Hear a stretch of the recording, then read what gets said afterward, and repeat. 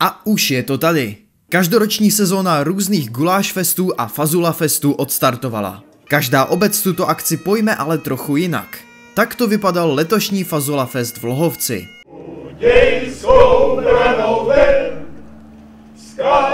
tam milej pozdravení.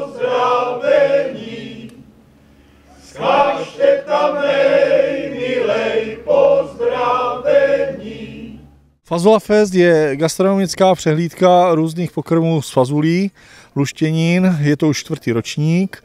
Začali jsme před čtyřmi roky tady v Lohovci a zároveň jsme to spojili s 28. říjnem ze dnem vzniku nebo vyhlášení Československé republiky. Už je to čtvrtý ročník a snad jich bude i dál víc. Můžete říct nějaké typy pokrmů, co máte z těch luštěnin tady? Tak začínali jsme vyloženě fazulovýma jídlama.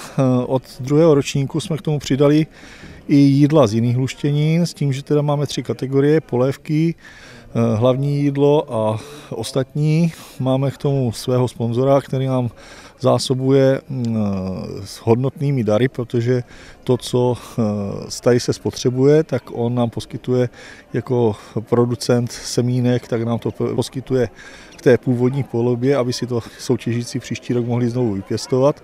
Takže jsou to tady ty tři kategorie, no a letos teda, co jsem viděl, tak jsou teda zase se vracíme zpátky jenom k fazulím. Každý soutěžící jako odměnu za účast dostane vařečku, jež každý rok nese trochu jiný motiv a balíček fazulí. Máme kategorii diváckou, to znamená prostřednictvím hlasovacích lístků nám eh, ti, kteří to ochutnávají, tak nám potom hodí, co jim nejvíce chutnalo.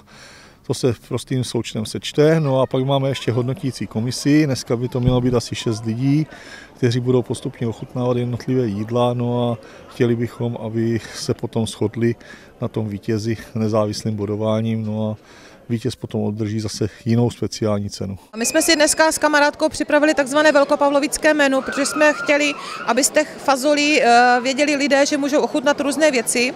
Takže začali jsme vlastně eh, takovou čili pomazánkou, takže jednou hubky s čili pomazánkou, pak eh, fazolová polévka se slaninou, pak fazole na smetaně a klasické moravské beleše a něco sladkého, tak máme sladké šneky. Každý se diví, ale opravdu jsou to fazole s kakaem, s čokoládou. Všichni všichni se chodí a ptají se na ty šnečky, jestli jsou opravdu sladký, jestli v tom opravdu jsou ty fazole a někteří se dokonce i vraceli, že jim to chutnalo, takže myslím si, že jsme trefili dobře.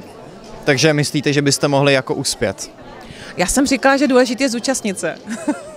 Kromě samotné hlavní soutěže celý Fazula Fest doprovází ještě jedna vedlejší. Ta doprovodná soutěž je odhad počtu fazulí ve sklínce. Bylo to namáhavé spočítat letos, protože jich je tam hodně. No a ten kulturní program každý rok ho trošku obměňujeme. Letos ho máme eh, za prvé, tady vystoupí místní lohovecké děti. Pozvali jsme tady našeho kamaráda eh, z Brna, který hraje na skotské dudy. Máme tady pozvanou harmonikářku z Rajhradic, která hraje fantasticky na harmoniku, no a máme připravené mužácké, eh, mužácký sbor z Kobylí.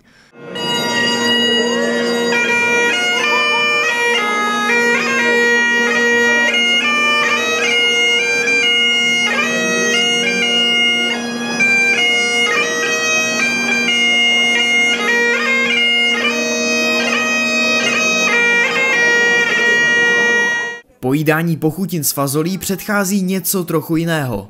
Uctívání památky padlých rodáků za první světové války. My si připomínáme každý rok u toho pomníku ty padle, protože ti padlí eh, jsou naši rodáci. To jsou lidé, kteří se tady narodili, kteří byli vytrženi z toho prostředí, museli odejít. No a vždycky víte, jak to je. No.